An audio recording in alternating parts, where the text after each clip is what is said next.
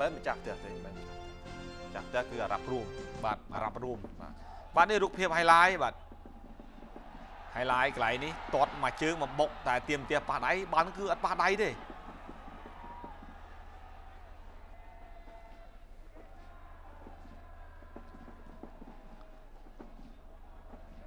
បាទគាត់យន្តទ្រូងគាត់ខ្វាយចេញមកកលាក Visa ក្រោយមកបង្កើតឱកាសកន្លែងនេះដែរតែបង្កើតហៅបាល់បញ្ជូនគឺស្រាលពេកបាទកាលពីវគ្គទី1ហ្នឹងវីតាន់បាទវីតាន់មកនិយាយទៅវីតាន់ល្អតែដូរចេញវគ្គទី2គឺដូរចេញដាក់កម្លាំងការពារចូលកាលហ្នឹងហើយវីតាន់កន្លែងនេះអូសុទ្ធខ្លួនឯង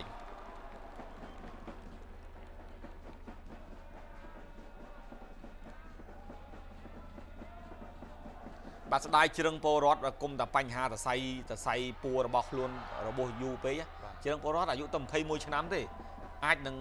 ជាប់ជំរឹះដល់មួយនេះជំរឹះជាជំរឹះរបស់លោកហ្វីលីព្រោះថាជ្រឹងពលរដ្ឋបំរើកណ្ដាលគឺគាត់ចែកដូច8ទិសល្អណាស់បាទឡើយនេះហាក់តែដោយប្រធានក្រុមបាទតែ1នាទីប្រធានក្រុមសារិនកនបាទហូបបានតែ1 2នាទីថា2នាទីចុះ អត់បានយូរផងគាត់តែកែបាល់អនុនស៊ីវាយបកទៅភ្លាមភ្លាមតែកាច់មិនបន្តិចបាទហើយតែស្រាលទេมันតែយកទម្ងន់ប្រហែលទេតែយកបច្ចេកទេស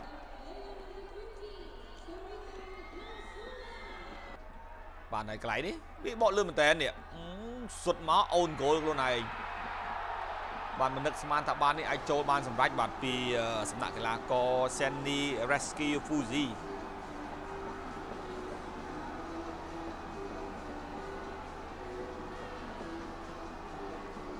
បាទគាត់អពេកនឹងចង់កាំងកន្លែងនេះបាទដូចមុខនឹងស្លេកស្លាំងទាញល្អមែនទាញស្ដាំឯឡើងទាញសុទ្ធទៅប៉ះនឹង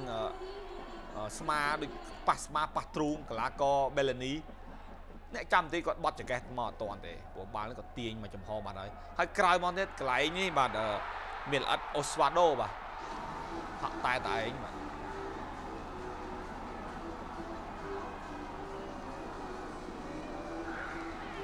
ត់មានអ្នកមករំខានតែកាច់មកមកមកយ៉ាងស្រួលពីជ្រុងមួយខាងទៅជ្រុងមួយខាងទៀត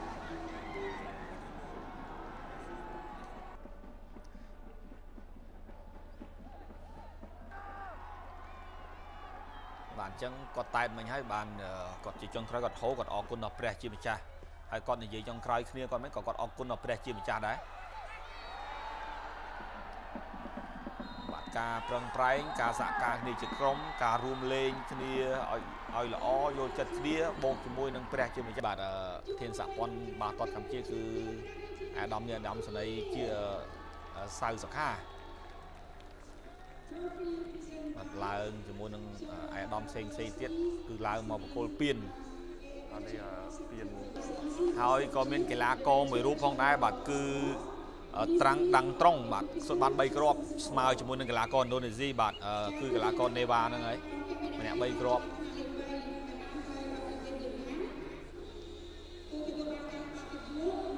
បាទទទួលបានមេដាយសម្រិទ្ធ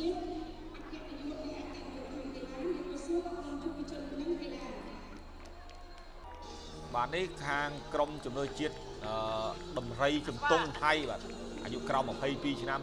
ជើងឯករងបាទ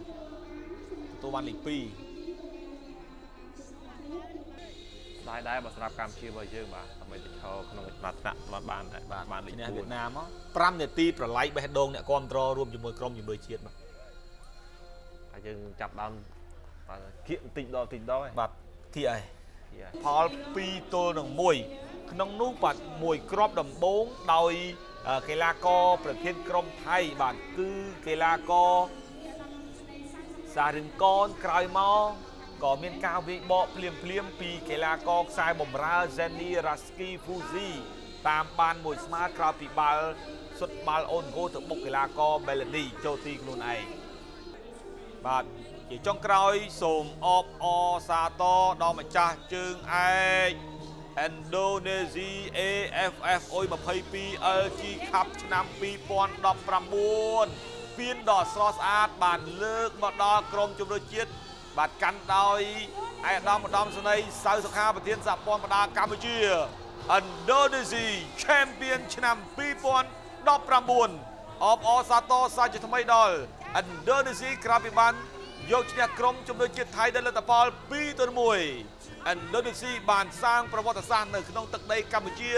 សម្រាប់ការប្រកួត AFFL G Cup អុយ22 ឆ្នាំ2019អ្វីដែលសប្បាយចិត្តជាងគេគឺបាទកីឡាករប្រុសម៉ៅដែលខាងជំ fan fan កម្ពុជាហៅថាប្រុសម៉ៅបាទប្រធានក្រុមក៏ដូចជាគ្រូវឹកស្ដាប់មេស្ដាប់មេទុកឲ្យមេហូរមុនបាទទុកឲ្យមេហូរមុនអើចាំហូរតាមក្រោយបាទនេះគឺជារូបថតមួយដែលទុកឲ្យកូនចៅចំនួនក្រោយបាទដែលស្នងអឺជាកីឡាករបាទនេះគាត់ថា ស្ដាប់គាត់ឈរនេះឈរនេះធ្វើចេះមិនគេថតរូបមកស្អាតបាទតែខាងក្រៅធ្វើអត់ដឹងបាទ